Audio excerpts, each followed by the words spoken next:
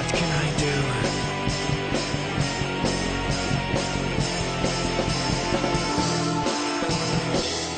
Rock and Rose, the new fragrance by Valentino.